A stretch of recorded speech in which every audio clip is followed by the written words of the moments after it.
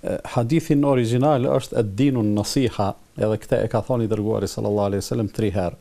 Realisht, e, dikush e ka përkthy se feja është këshil, ndërsa fjala nasiha, nasihat që i themi ne, e, ka kuptim shumë ma të gjerë sesa Këshilla. Pra këshilla është një lloj manifestimi i nasihatit, duke qenë se ka të bëjë me fenë si ndjenjë e lojalitetit të skajshëm, ngase kur është pyet për kënd ja Resulallah është kjo ndjenjë e këtillë, ka thonë për Allahun, të Dërguarin e Tij, Librin e Tij, edhe për muslimanët prijës ose masë.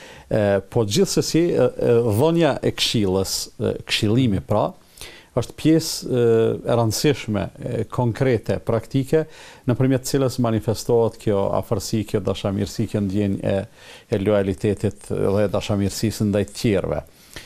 Këshilla mendoj se është një prej është një prej mundësive më të mira edhe më interesante që njerëzit ta plotësojnë te njëri tjetri atë që atë që i mungon. Madje nëse unë të jap ty këshillë ose ti më jep mua këshillë, nuk është patjetër që vetëm mua të të më mungojë ajo gjë e pastaj ti ma ofron atë në formë të këshillës, po ka mundësi edhe ty të të mungojë.